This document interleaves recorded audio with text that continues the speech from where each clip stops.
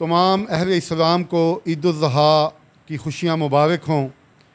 जमात इस्लामी समझती है कि ईद उज़हा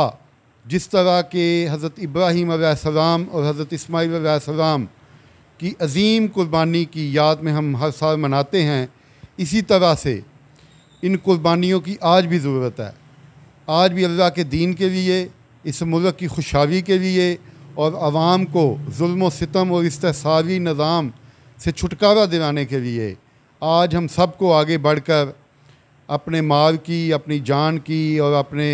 ख्वाहिशात की कुर्बानी देकर हमें हर सूरत में अल्लाह की धरती पे अल्लाह के निज़ाम के नफाज की जद्दोजहद को आगे बढ़ाना है। जमात इस्लामी आज़ाद जम्मू एंड और कश्मीर जो है वो 25 जुलाई को होने वाले आम इंतबात में अपने निशान और अपने परचम पे पूरे आज़ाद कश्मीर की तमाम सीटों में हिस्सा ले रही है। कल इस हवाले से एक अफसोसनाक खबर आई कि ज़िला बाग वस्ती में एक उम्मीदवार ने अपने तौर पर बग़ैर मशावरत किए तहरीक इंसाफ के उम्मीदवार के हक़ में दस्तबरदारी का ऐलान किया और जिसके फ़ौर बाद जमात इस्लामी आज़ाद कश्मीर की शूरा ने और अमीर डॉक्टर खालद महमूद साहब ने फौरी तौर पर इजलास मनक़द किया और सैयद अब्दुलरशीद तराबी साहब, जिन्होंने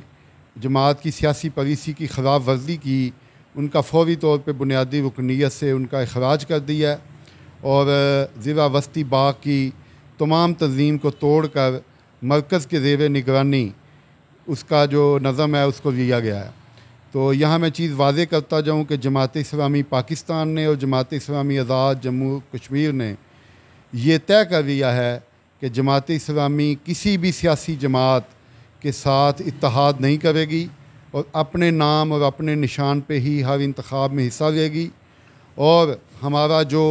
मिशन है कि अल्लाह की ज़मीन पर अल्लाह का निज़ाम, उस पर कोई कंप्रोमाइज़ नहीं किया जाएगा।